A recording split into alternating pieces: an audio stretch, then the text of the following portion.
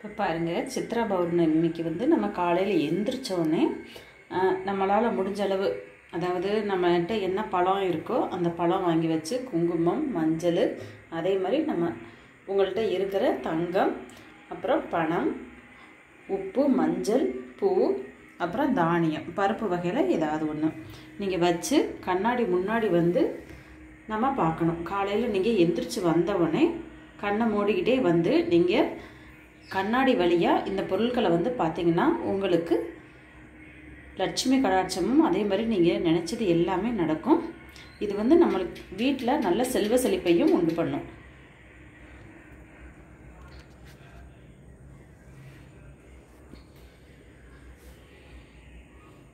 இப்போ நான் எங்கள் வீட்டில் இருந்த என் என்கிட்ட வந்து இப்போ மாம்பழம் பலாப்பழம் பலாப்பழம் கிடைக்கலங்க. பப்பாளி வாழைப்பழம்.